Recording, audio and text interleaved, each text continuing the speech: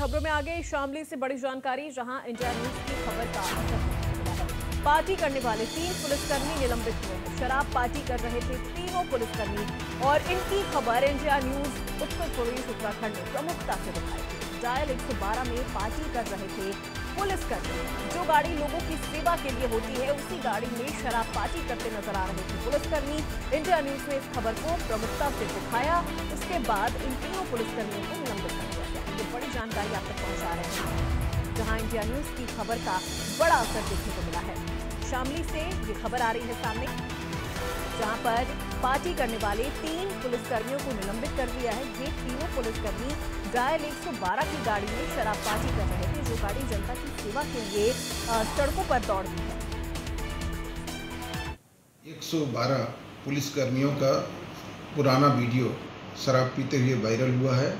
इस संबंध में तीनों कर्मियों, निरीक्षक संजीव कुमार व हेड कांस्टेबल अनुज कुमार व हेड कांस्टेबल अश्विनी कुमार को निलंबित किया गया है।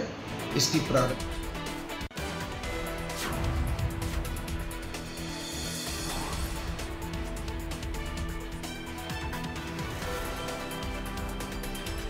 पार्टी करने वाले तीन पुलिसकर्मी निलंबित किए गए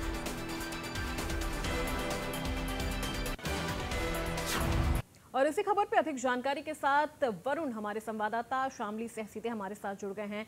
वरुण, देखिए, इस खबर को इंडिया न्यूज़ ने प्रमुखता से दिखाया था। एक डायल 112 की गाड़ी जो आम जनता की सुविधा के लिए, आम जनता की सेवा के लिए सड़कों पर दौड़ती है, उस गाड़ी में ये तीनों पुलिसकर्मी शराब पार्टी करते हुए नज़र आए थे। अब इन्हें निलंबित कर दिया गया है। क्या इनकी तरफ़ से इनके पक्ष में कुछ सफ़ाई दी गई है? बिल्कुल देखिए, ये पूरा मामला जो है डायल 112 गाड़ी का नहीं डायल 112 कार्यालय का है, जहाँ पर कुछ दिनों पूर्व जो है, जो जो डायल 112 के निरीक्षक है, संजीव कुमार, जो दो कांस्टेबल उनके साथ बैठ करके जो शराब पार्टी कर रहे हैं, वो बैठकर जो है ऑफ़िस में आए दिन इस प्रकार से जो है, अपनी मनमानी करते थे। ये पूरी घटना ऑफ़िस में ही लगे सीसीटीवी में कैद हो गई, और अब जो डायल 112 के जो कर्मचारी थे, और जो निरीक्षक थे उनकी वीडियो उन्हीं के विभाग के किसी कर्मचारी ने सोशल मीडिया पर वायरल की। क्योंकि सरकारी कार्यालय का सीसीटीवी कोई प्राइवेट व्यक्ति तो नहीं दे सकता तो ज़ाहिर सी बात है ये पूरा मामला विभाग से जुड़ा हुआ है। क्योंकि निरीक्षक साहब आए दिन इस प्रकार की पार्टी कार्यालय में करते थे उसकी शिकायतें भी मौखिक रूप से विभाग में की गई थी लेकिन कोई कार्रवाई नहीं हो पा रही थी।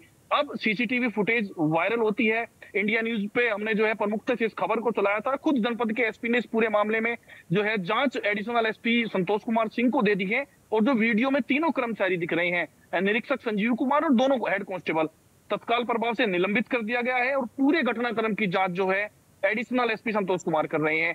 अब इस पूरे मामले में अगर जो है और तथ्य सामने आते हैं तो संभावना ये भी जताई जा रही है कि उनके विरुद्ध मुकदमा भी दर्ज किया जा सकता है, जी। बिल्कुल वरुण, क्योंकि दफ्तर के अंदर सीसीटीवी कैमरा लगा है, उसके बावजूद भी इतना कुछ कर जाने की हिमाकत इनके अंदर थी। क्या इनको ये नहीं पता था कि अंदर सीसीटीवी कैमरा लगा है?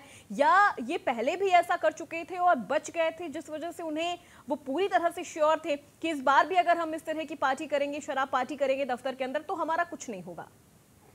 बिल्कुल देखिए ज़ाहिर सी बात है, क्योंकि सीसीटीवी कैमरा सरकारी कार्यालय के अंदर था तो उन्हें ये उम्मीद थी और उनका ये जो है, जो क्योंकि निरीक्षक थे, निरीक्षक यानी कि इंस्पेक्टर होता है, वो प्रभारी के रूप में वहाँ पर उनका दायित्व होता है। तो जब जो थाने का थानेदार संभवतः इनको मान लिया जाए तो थानेदार अपनी मनमर्जी पूरे थाने को लेकर के चलाता है। तो उन्हें ये था कि उनकी जो जो एक करतूत है, उनकी जो ये शराब पार्टी है इसकी वीडियो किसी को हाथ नहीं लगेगी। और ये वीडियो अब सोशल मीडिया पर वायरल हुई तो विभाग में हड़कंप मचा, जनपद के एसपी ने पूरे मामले में जाँच बैठा दी और प्रथम दृष्टा तीनों को के विरुद्ध जो है निलंबन की कार्रवाई की गई। जी। जी, बिल्कुल। बहुत शुक्रिया वरुण इस पूरी जानकारी के लिए।